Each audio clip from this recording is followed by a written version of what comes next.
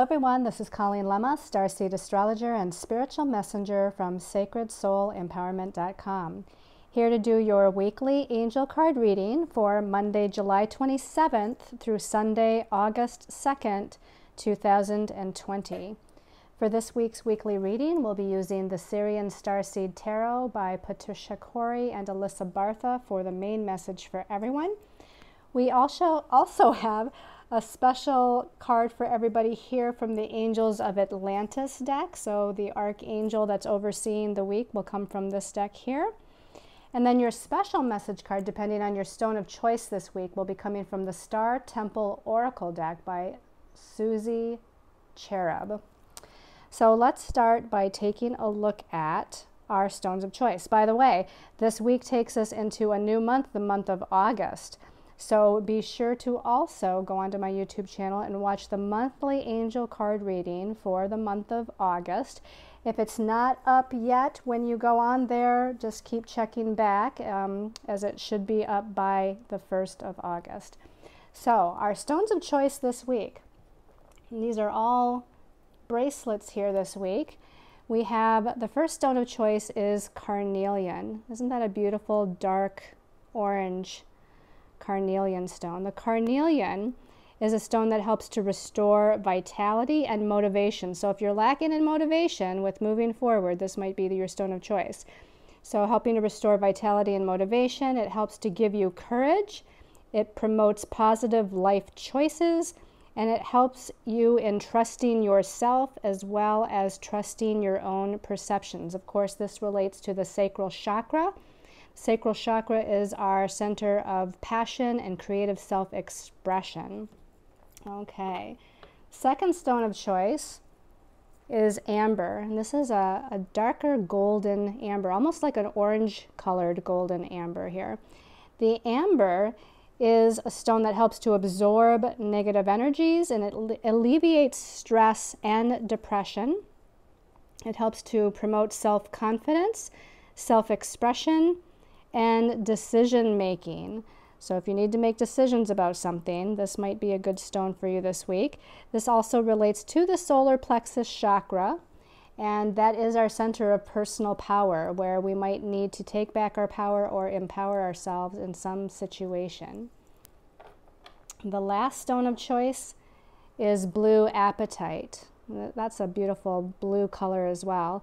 So the blue apatite is for clarity of concentration and clarity of communication. Helps to stimulate ideas and learning. It's a stone of manifestation. It helps with acceptance of how, how things are or acceptance of situations and circumstances in your life. It also helps to connect you to high spiritual guidance. And of course, this relates to the throat chakra, which is clear and authentic and honest communication and speech, and even perhaps uh, ability to kind of channel through your words. So, again, your stones of choice are the carnelian, the golden amber, or the blue apatite. So, let's set that aside and let's talk a little bit about the astrology for the week. Now, it seems like both Venus and Mercury are highlighted this week, and even the Sun. And because all of these planets are personal planets, Venus, Mercury, and the Sun, they're all faster moving, called personal planets because they affect our personal everyday life with their energies.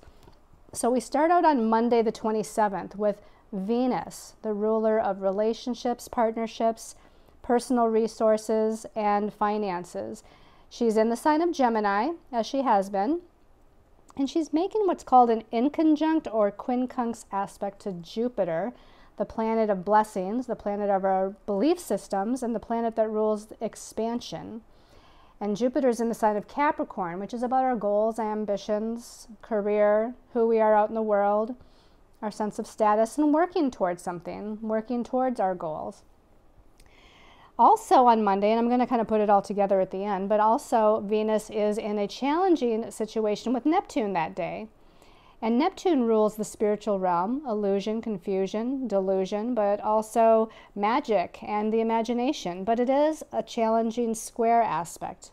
Okay, and then also on that day, Mercury which is the, the planet of the mind, our thoughts, our ideas, and communication, is in a challenging aspect to Mars, the warrior planet, in his own sign of Aries. Mars is an activator planet and likes to move forward um, with assertiveness.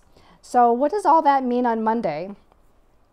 To me, there's a lot of things here that speak of uh, some challenging energies that need to be moved through. Okay, so again, we have we have two squares and we have an inconjunct. All of these are, are what's considered more difficult aspects.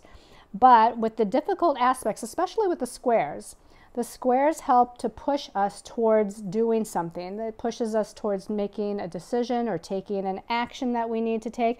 So even though there's challenge behind the square energy, it actually helps us to move forward. But if we think about this individually, we have Venus involved here with two of those connections. Venus is connecting to Jupiter, Venus is connecting to Neptune.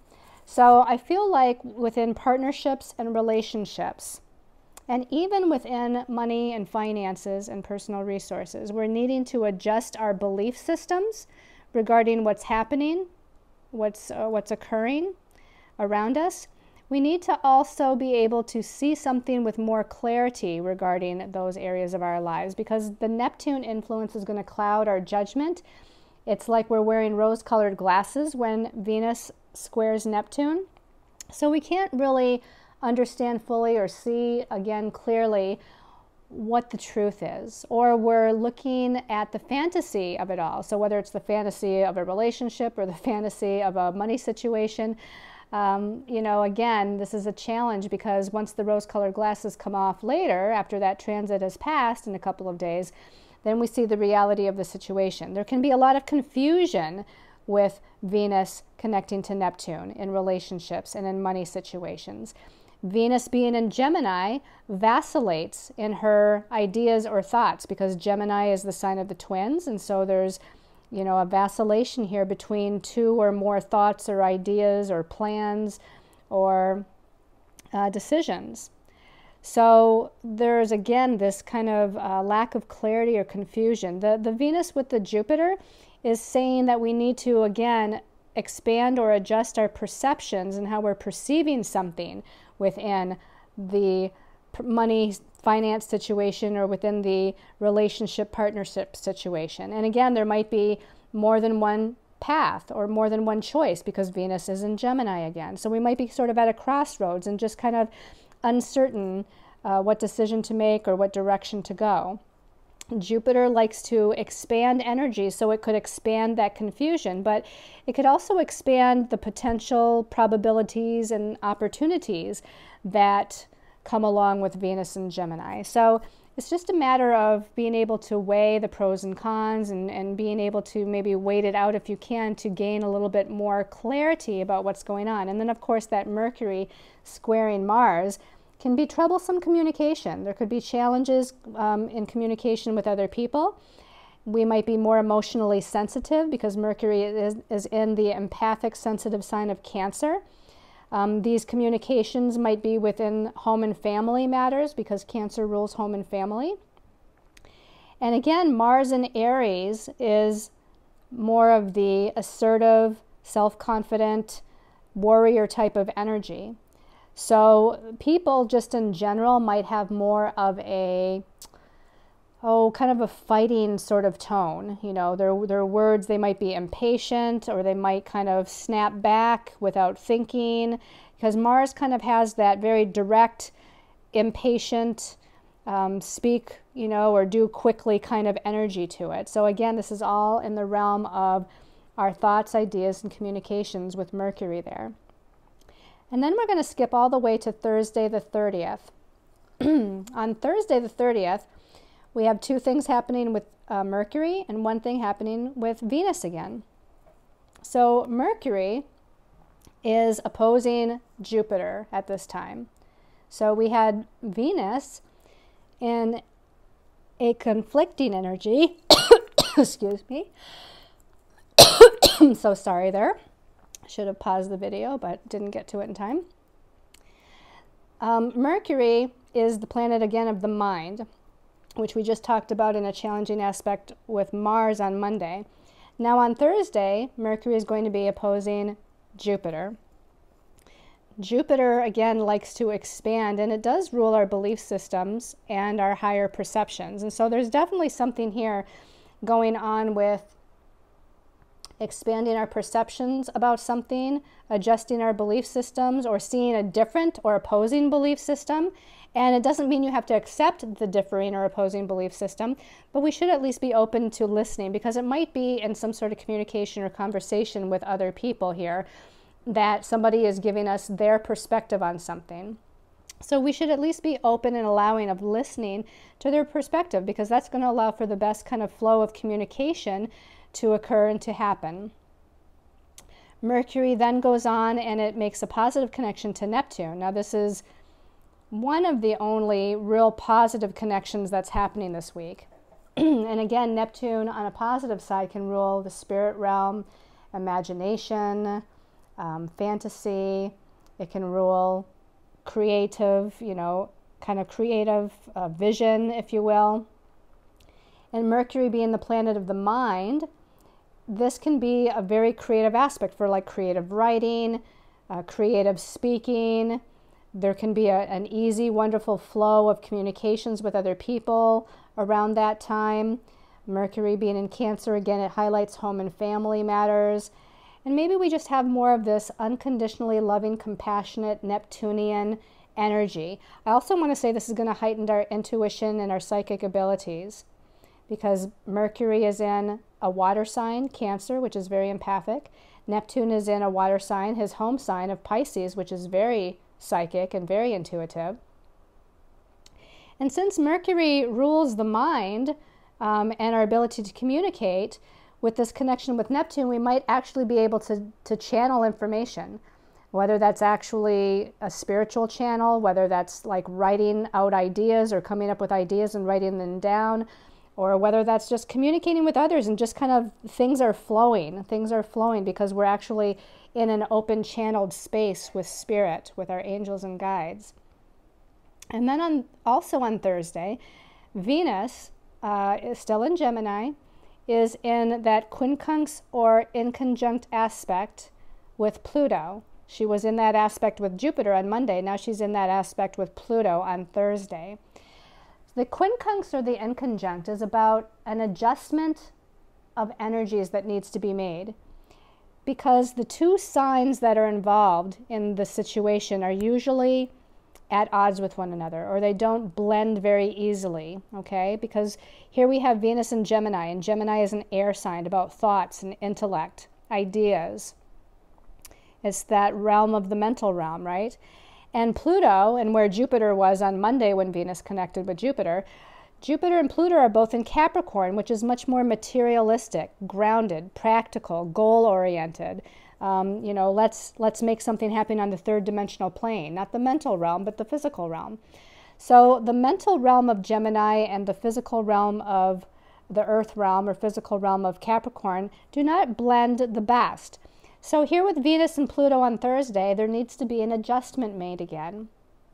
The adjustment might need to be made in um, our ideas, our thoughts, we might need to empower ourselves in some way through communication with others.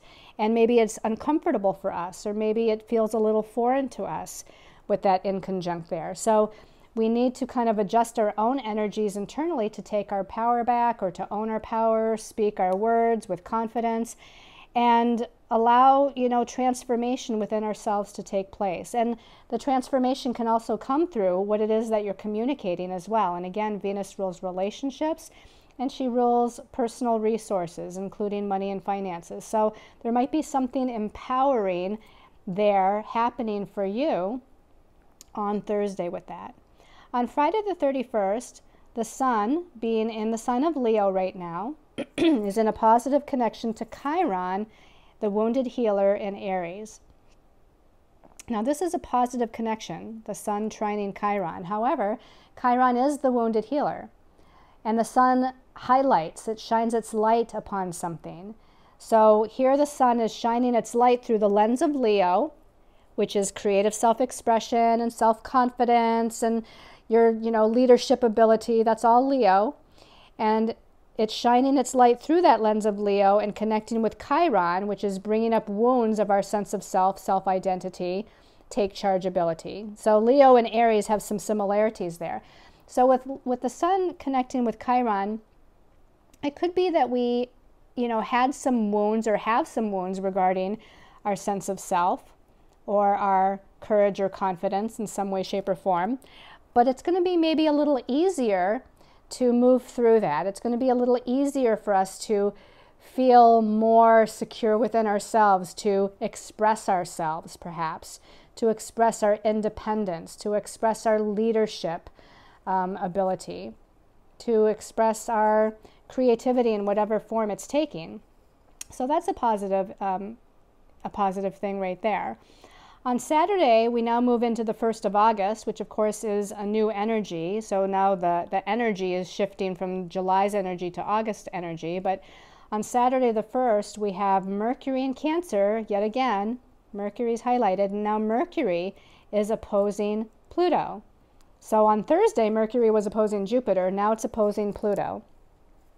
So again, we're going to have communications, conversations, interactions with other people, perhaps mostly in the area of home and family, or just again, real sensitive, empathic, or intuitive uh, communications and interactions with other people where we need to transform ourselves or transform a situation or empower ourselves or take our power back.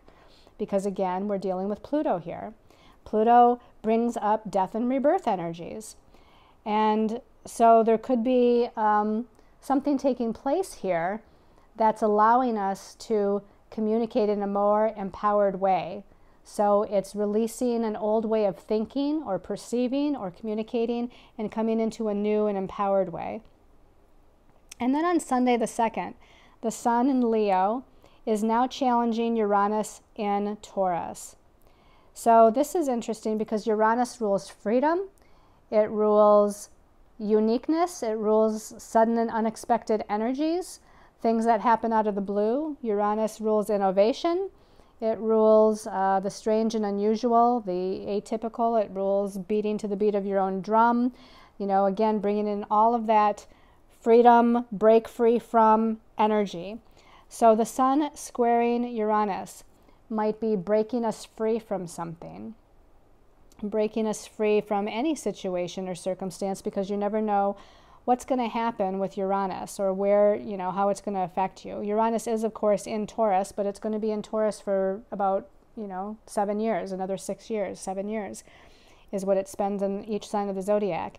And Taurus is all about money matters and our personal resources and our values. And the sun being in Leo, and we already said Leo is about our sense of ego and, and independence and creative self expression and leadership ability. So, whatever's happening is maybe on a personality level. People might be, again, a little bit more abrupt. They might be, do strange and unusual things or things out of character. They might suddenly shift or free themselves from something that's going on in their lives and, and just decide that, you know, enough's enough and I'm, I'm done with this. Or they might come up with new and innovative ideas or a new creative project. Of course, this is a challenging aspect between the two. So, whatever happens, it may come through feeling like it's a little bit uh, more on the challenging side, but usually usually if we're breaking free from something, it's because it's not in our highest and best interest to be connected to it anymore. So let's go ahead and take a look at the messages from our angels and guides here from the Sirian Starseed Tarot. And turning over the first card, we have ooh, the Five of Orbs. This is like the Five of Swords in the traditional tarot. The sword suit is all about the mind, our thoughts, our ideas, our communications. The number five numerologically speaks of sometimes chaos or confusion, sometimes multitasking or having a lot of things happen all at the same time, all at once. The fives also are a number of freedom as well. Here we see a person or the image of something, it doesn't really have a face on it, so there's kind of either a mask over or again, there's no, no like sight or perception here, but they're juggling five orbs. Two of the orbs are actually on the ground. The other three are still up in the air and still being juggled by this um, energy, this person. So this to me, and you can see there's dark clouds in the background, there's fog, you know, around here on the ground. So again, there's a lack of clarity about something. The light is not shining through here. So we're having some confusion, some darkness, some despair, some lack of clarity, not seeing something clearly. And that not seeing something clearly is also indicated by this person not having a face, not having eyes to see, you know, wearing a mask, if you will. So there's no ability to kind of see or sense or understand or perceive where those other orbs are, you know, what the what the other thoughts are all about, what the ideas are all about, what possible decisions could be made, what what the pros and cons are. So again, this is about chaos. Chaos um, with confusion, con, you know, confusion with communication, um, chaos in our own mind with our own thoughts, having too many things kind of flow through our mind so that we can't really focus uh, intellectually or mentally. We can't focus on something. So there's just a lot of, um, you know, uh, difficulty here. And this, you know, this goes along with the Venus and Gemini at the beginning of the week and connecting with Neptune. So there's illusion and confusion. Mercury, of course, the planet of, of the mental realm, is in that difficult aspect with Mars, the warrior, where there could be fighting words, fighting communications, which this could also uh, indicate as well, um, as the traditional Five of Swords would be. So this is this is how you know this the week is starting out. But let's go ahead and take a look at the next card, which actually came out as two cards. And let's see what the progression of the week looks like. So if we turn over the first of the two cards that came out for the second card, we see the adept of orbs. So we're, we're still in the orb suit, we're still in the sword suit, we're still in the realm of the mind with our thoughts and ideas. The adept is the knight in this particular deck. So we have the knight of swords. The knight of swords, you know, the knight, as far as the um, court cards are concerned, you have pages, knights, queens, and then kings. The kings are the most mature. And the queens are mature as well, but just the divine feminine instead of the divine masculine, like the king. The pages are the least mature. In fact, sometimes they're a very immature energy or childlike energy, or sometimes when you get a page, it does indicate children. Um, pages are also about messages or mes- you know messenger energy. The adept or the knight is about the energy of um, it's like not quite mature, but not, it's like growing up kind of thing. If you think about a knight, you know, like the white knight on the horse, he's usually young and gallant. He's got a lot of energy. He's got a lot of conviction, but he doesn't have a lot of wisdom and he doesn't have a lot of experience yet, not like the queen and the king. So the Knight of Swords here is about having thoughts and ideas and communicating in such a way that he might be a little um, what's the word I'm looking for? Impatient. He might be a little quick to thought or quick to come up with an idea or quick to say something in response to someone else's communication without thinking things through. Now, in this particular card, actually he's sitting down, which a lot of times you see the knights on a horse and galloping forward wildly. Um, this knight or this adept is sitting on a rock and actually holding a ball or a sphere that has actually has the knight on the horse within it. So this almost gives us the idea that this knight maybe is just a little bit more stable.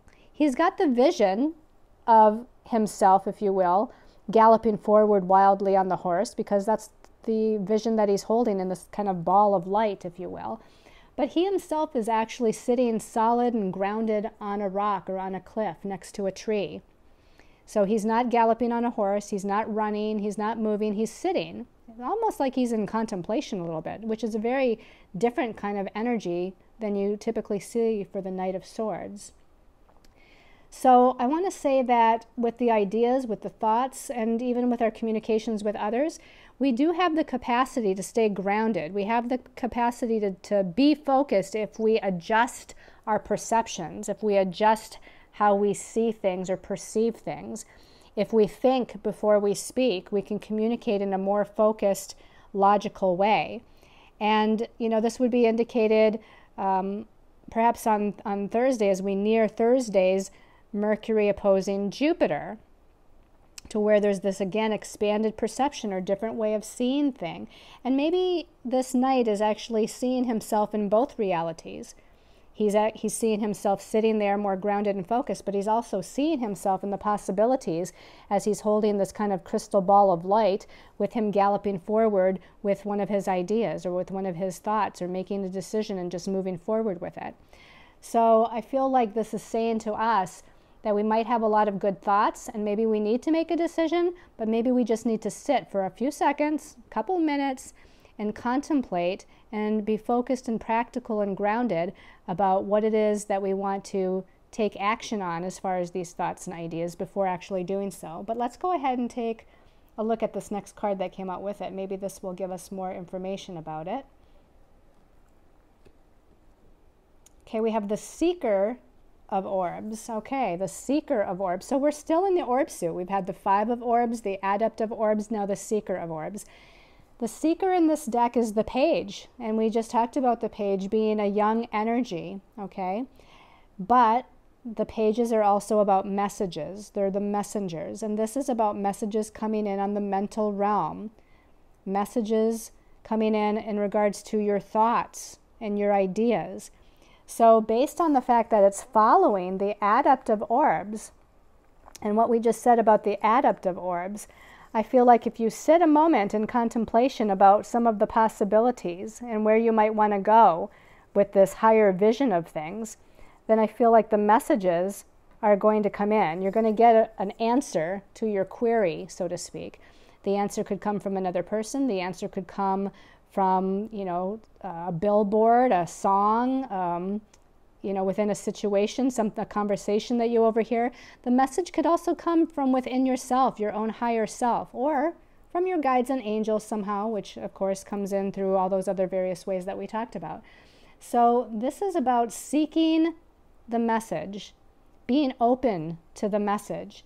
And you see this person, she's a young young girl here. As I said, the pages are usually young. And she's looking for something. She actually has a light in her hand, and she's almost like moving through a cave. So she's seeking, it's almost like that light is lighting her way as she's seeking either the exit or the entrance further into the cave. Either way, she's looking for something and seeking something. So here I feel like you're seeking the answers to some questions that you might have in some area or areas of your life. And if you just sit like the adept long enough for a few moments in focused meditation, perhaps that idea, the answer, the message will come to you through the seeker of orbs.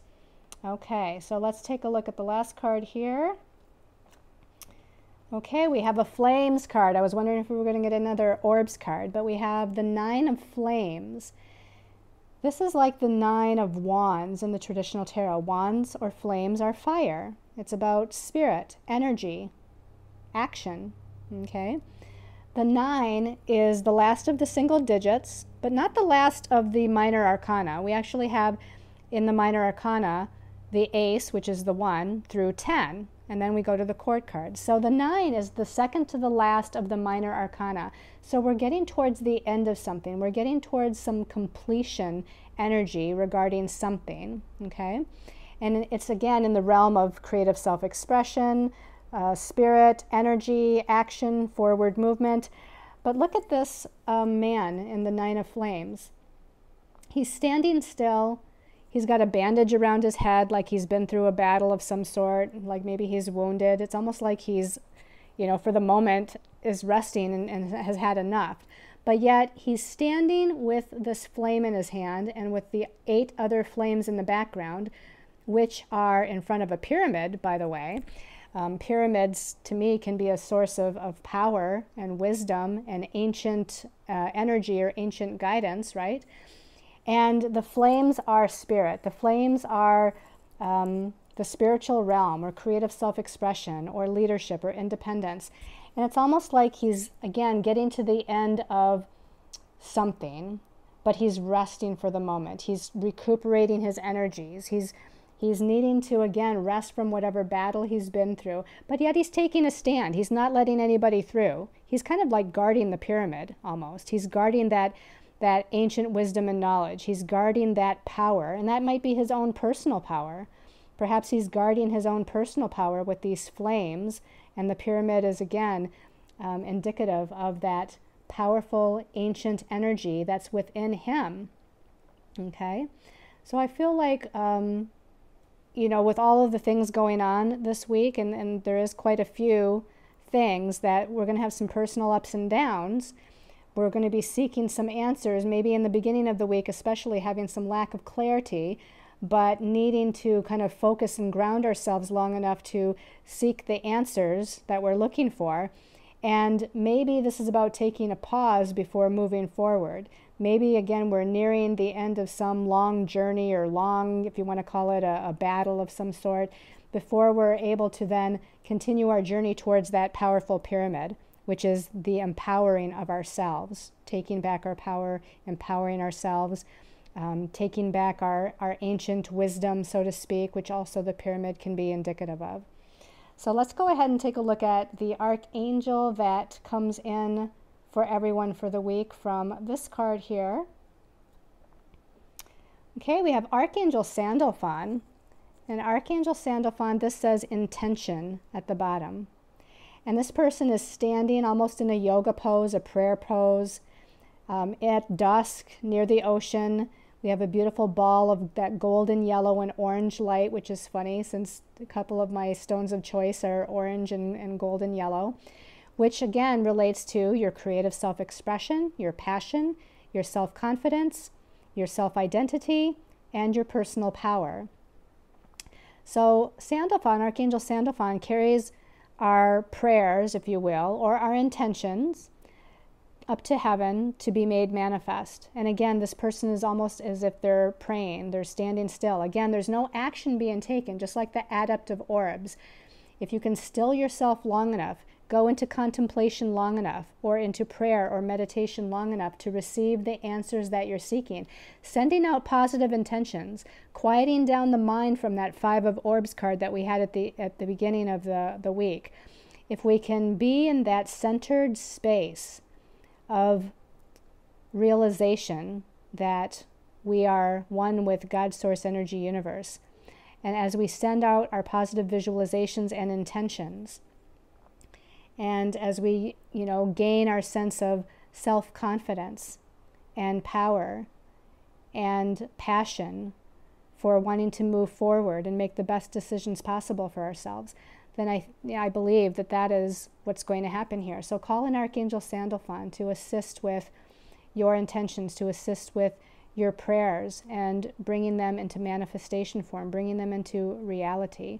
Archangel Sandalphon also, to me, kind of deals with, with music. Um, music as a form of prayer, music as a form of ritual, you know, having like, uh, like mantras or um, meditating to certain, you know, music, um, etc. So that might be part of calling in Archangel Sandalphon this week as well. Okay.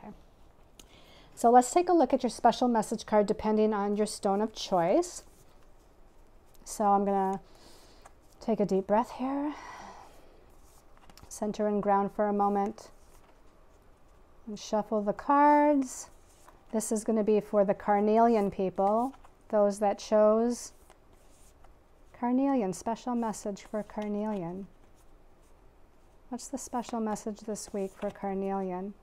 Okay, this one's definitely popped up when I opened my eyes up, didn't realize that. It says, The triple star grid, align. I connect and align with my higher consciousness.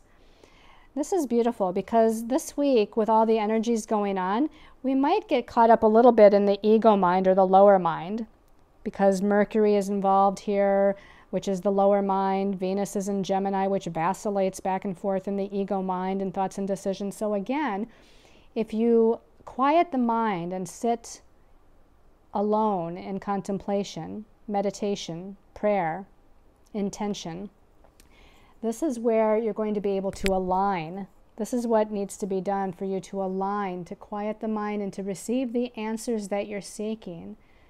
Receive the messages that you're looking for. And again, it says, I connect and align with my higher consciousness. This beautiful woman has um, a beautiful kind of crown of, I don't know if that's jewels or flowers or ferns or something around her third eye. But it definitely has that wonderful, you know, blue color. Not as dark blue as the third eye would normally be, but that color blue on the third eye is helping to expand her vision, to expand, expand her intuitive and psychic perception here. She's kind of holding a ball uh, of, you know, again, kind of bluish light here in front of her as well. It almost reminds me of planet Earth. This could be have something to do too with um, aligning yourself with the purpose on the planet. I think about your, you know, your earthly purpose, your life purpose on this earth plane, and needing to align again with whatever that purpose is. And again, how do you do that? Is through, first of all, that throat chakra blue energy of speaking your truth. But before even speaking your truth, you have to align with the um, authentic ideas that are aligned with your higher soul self. And again, that third eye perception, um, that intuitive psychic perception, that vision of what that is, what you need to align with. You just, really, you just need to simply align with your truth. Align with your truth and your true authentic self, and all else will fall into place.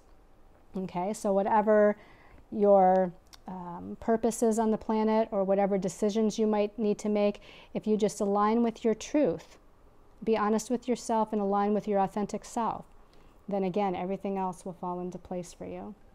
Okay, that was again this triple star grid. Okay, now we're going to choose the special message card for the Amber people. Amber people, special message for Amber. Special message for Amber people.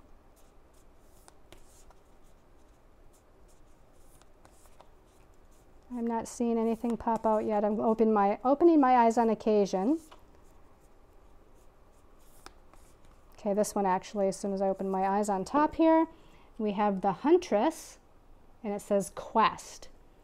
At the bottom it says, the Pleiades light my quest to be wild and free. So Obviously, some of you here that chose amber might be associated with the Pleiades star system or the Pleiadians, star brothers and sisters of the light in some way. And again, we have the huntress and kind of the quest, following the quest, heeding the call of the quest. Um, the Pleiades light my quest to be wild and free. So definitely you have a theme here of free, freedom, freedom, huntress, freedom, you know, warrior energy here is the huntress.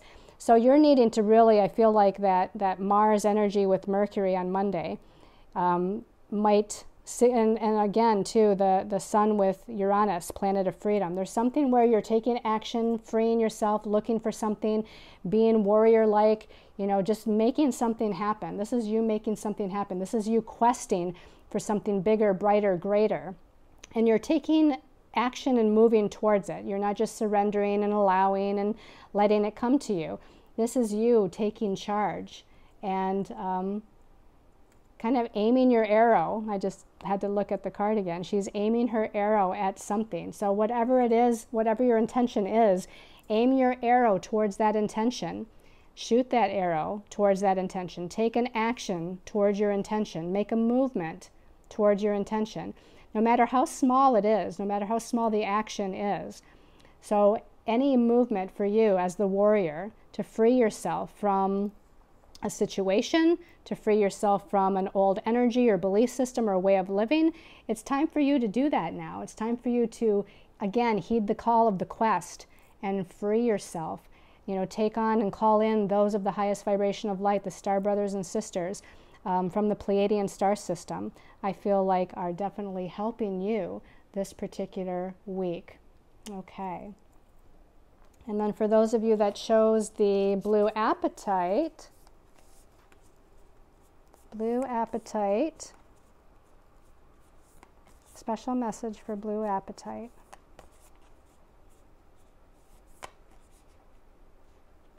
Okay, I'm confused because the one on the bottom feels like it wants to come out, but so does that one. So I'm going to keep shuffling because to me, if I'm confused between two or three cards, and if that one was meant to be, it'll come back around. So blue apatite, people, Special message, blue apatite. Okay, this one's popping up. Blue apatite, people. Ooh, the priestess. The priestess, and it says embody. I am an embodiment of the divine feminine. So the previous, the Huntress quest card, was very divine masculine. This one for the blue apatite people, it's very divine feminine. The priestess, she's in a she's holding her hands in prayer in front of her heart chakra or and even her throat chakra. She's got her eyes closed. And it actually says, I am an embodiment of the divine feminine. So, what does that mean, the divine feminine? It's actually about, it's, you know, definitely um, an energy of power. The priestess has a lot of power, but her power lies in more of this being receptive and being allowing and being creative and being loving and nurturing and magical. But yet she's still holding her power too. It's almost like a cross between the masculine and feminine here because the priestess definitely has power. You can see she's surrounded by the universal night sky. Um, she's got, you know, she's definitely wearing this beautiful kind of gown. She's got a beautiful kind of headdress. The headdress um, has this beautiful amethyst colored purple at the crown chakra. So we know she's opening up to higher wisdom, higher knowledge. And she's allowing you know, again, that receptivity of the divine feminine. She's allowing that higher wisdom and higher knowledge to be channeled through her. That is her power, to be able to channel forth that divine wisdom and knowledge, to channel through her the answers that she's seeking, to channel through her the magic that she's embodying within this priestess energy to kind of create her own reality the priestess creates her reality through magic, but not always direct masculine um, force or assertion. Okay, it's about almost, again, balancing the two through her vision, through her intention, through her prayer, um, through allowing, again, universal energies to flow through her. That's where her magic lies. That's where her power lies. So, in and of itself, that is an action to be able to embody that powerful divine feminine energy as the priestess is your magic for this week. Mm, beautiful. Okay, so I hope you've all liked this weekly angel card reading. Um, thank you all so much again for those who support me in different ways through your lovely, kind words and comments. Some of you are leaving wonderful testimonials for um, not just my videos, but also for the services, the readings, the healing sessions, and whatnot that I do. Um, some of you, uh, if you want to sign up for my monthly newsletter, please feel free. Go on my website and sign up for that. You'll get a monthly newsletter that has various information, things about upcoming classes, sometimes some uh, discounts for some of my services. Thank you for those of you that, uh, again, uh, send in your um, gifts in various forms. I appreciate whatever the gift is, um, and some of those gifts are just, again, your lovely words of support, and I appreciate that just as much as well. And I want to send you all much love and light as we move into this new month of August. Uh, it'll be interesting to see what the new month of August uh, unfolds for us in this time on our planet, uh, in these months that we've been through and where we seem to be going. Um, it's an interesting unfolding, unlike any time that I think any of us have probably lived in our lives to have something so worldwide happening, uh, universally speaking. But it's an opportunity to bring positive change and evolution and growth, both both on a personal as well as a collective level. So until we meet again, sending you lots of love and light and many, many angel blessings, everyone.